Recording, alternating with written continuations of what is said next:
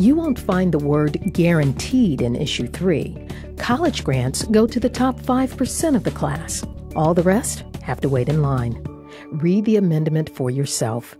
Vote no on issue 3.